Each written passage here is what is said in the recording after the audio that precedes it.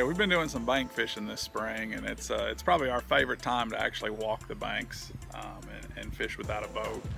Um, a lot of guys ask us, you know, how, how, do I, how can I be more effective bank fishing? The biggest tip I'd give you is be mobile. Um, don't sit in one spot for too long. Move along, watch the shallows, look for fish kind of cruising, look for beds, um, look for isolated pieces of cover.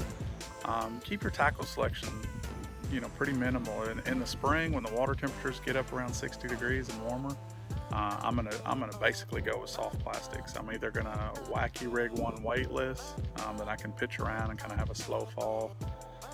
Um, pitch around where I think bass are kind of roaming the shallow and they're guarding their fry in the shallows. Um, then if the cover's a little thicker, um, some of these lakes we've been fishing, um, there's lots of standing timber, brush piles, uh, big rocks, vegetation. There's all kinds of things um, for the bass to get up in. Um, then I'm going to go more with a Texas rig, heavy pound test, and a, and a small, like a bug bait. Uh, we've been throwing the, you know, anything from a, a Zoom Z hog, uh, or Reaction Innovations beaver. Uh, been throwing the new V&M J bug. Um, even a Senko on a on a small little bullet weight can be really good. So um, that's some of the tips I'd give you for walking the banks. Um, just just keep moving. Look for those pieces of cover.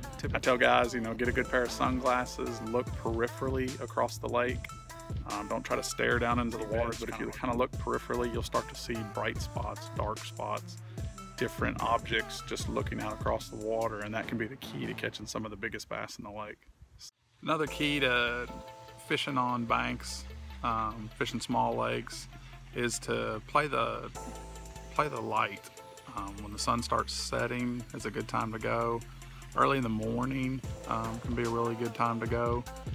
Um, some you'll basically you'll see shade lines along the lake.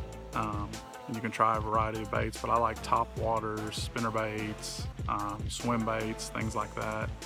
That's good when you're searching for fish. You know, don't always go in the bright, sunniest part of the day and not catch any fish and think, well, this lake doesn't have any fish. Um, a lot of times it's, it's because they only feed in certain light conditions um, on small bodies of water, especially like in the summer, that they may only feed at night, very first thing in the morning, and then when the lake gets really hot, because these small lakes will get a lot hotter than a big reservoir will, especially if it's current. So focus on that. Um, try early in the mornings, late in the evenings, and move around, um, sampling different baits. You know, I might throw a swim bait for a little while, and then a top water, and then drag something along the bottom even. And as it gets dark, I'll, I'll continue to fish you know, spinner baits, worms, jigs, things like that, things on the bottom real slow and methodically. A lot of times night fishing on these small lakes can be a, a real key factor.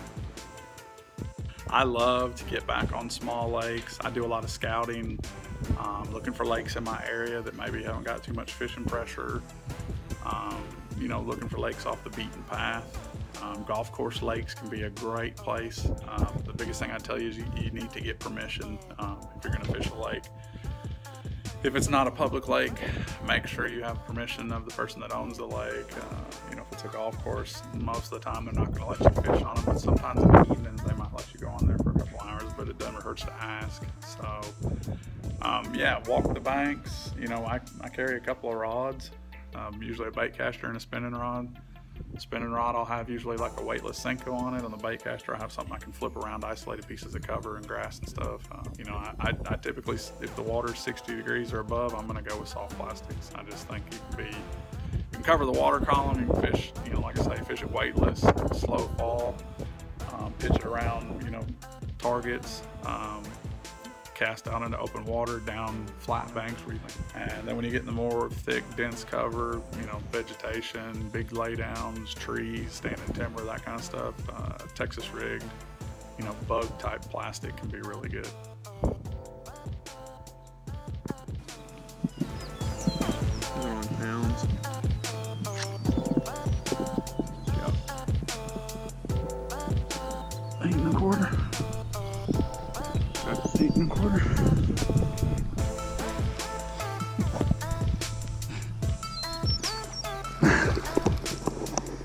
Sit down.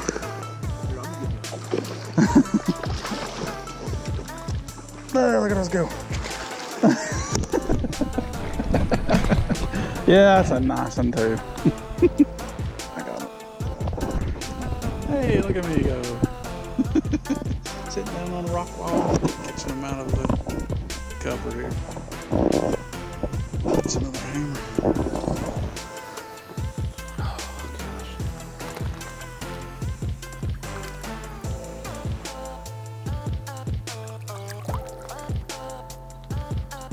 She's like, back to my spot. Look at that wake she's leaving. Wow. well, that's it from small lake fishing. Hope you enjoyed some of the footage. It was a lot of fun getting back to my roots, walking the banks here, fishing some small lakes and golf course ponds and things of that nature. But uh, just get you some small craws, Senkos, um, you know, I fish, if it's open water, I fish 10, 12 pound line. You don't need real heavy line. If you've got cover or you feel like you've got really big fish, then yeah, I go up to, you know, 14 to 20 pound line, depending on how big the fish are and how heavy the cover is. So, um, but I like keeping it simple. I just take a couple rods, take a plastic on one. Maybe if the fish are active, it's low light conditions. I might have a top water also, but most of the time it's just slow fishing, dragging around until you get a bite, you know, being real observant, see the fish and, and, you know, trying to stay ahead of them. If you start seeing fish along the banks, then you want to be casting way up ahead of you. Um, that's how I caught a lot of my fish when I come here is I'm observant, I see fish move or I see them kind of swim out off the bank and then I, you know, I kind of put that in my memory bank and I'll come back later on a different time and know that fish is kind of been cruising up and down that one bank and I'll come back and hit it later. So anyways, hope that helps you and uh, get out there and have some fun on these small lakes.